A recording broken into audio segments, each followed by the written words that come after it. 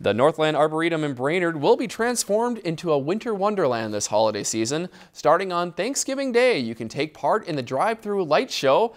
In its 11th year, there will be new light displays and the iconic old Brainerd Water Tower light structure will also make an appearance. It's a large production of light, but well worth it for the Sertomas. And you're talking to people, asking them how they're doing and how they enjoyed it. And I remember one couple going through and they're like, you know what, this was great.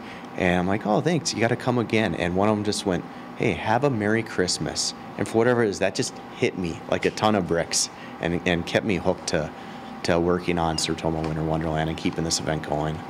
The times and dates for the Winter Wonderland can be found on our website at lptv.org/news. If you've enjoyed this segment of Lakeland News, please consider making a tax-deductible contribution to Lakeland Public Television.